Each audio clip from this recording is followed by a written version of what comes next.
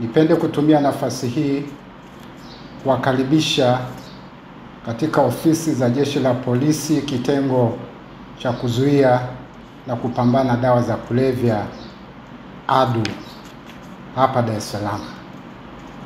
Dhamira kubwa ya kualika na kuwakaribisha ni kuwapeni taarifa ya kukamatwa kwa watuhumiwa 1212 wa dawa wa madawa ya kulevya.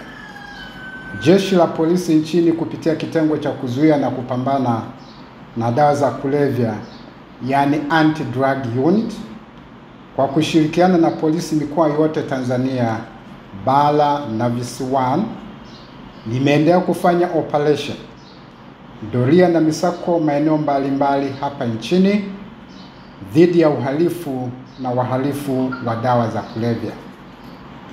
Katika operesheni hii ilifanyika kuanzia Septemba mosi 2022 hadi Oktoba 2025. Jeshi la polisi nchini limefanikiwa kukamata watuhumiwa 1212 na kufungua kesi 1030 ambapo kiasi cha dawa za kulevya kilichokamatwa kwa kipindi hicho ni bangi zipatazo kilogramu 1962.154 sawa na tani 1.96. Milungi iliyokamatwa ni kilogramu 1081.73 sawa na tani 1.08. Heroin iliyokamatwa ni gramu 448.74 pamoja na kuteketeza mashamba ya bangi hekari 9.55 na miche ya mirungi ipatayo 220.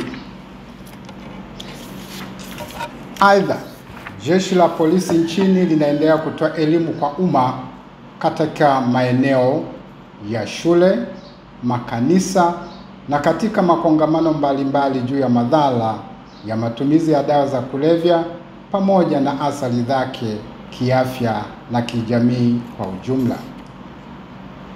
Sambamba na hilo, pia kikosi cha madawa ya kulevya kwa kushirikiana na wadau pamoja na taasisi za kimataifa tunaendelea kufanya waisha mbalimbali katika kujadili na kupanga mikakati ya kupambana na dawa za kulevya nchini. Jeshi la Polisi linaendelea kutoa wito kwa wananchi kutoa taarifa za baadhi ya watu wachache wanaojihusisha na biashara haramu na matumizi ya dawa za kulevya ili wachukuliwe hatua kali za kisheria.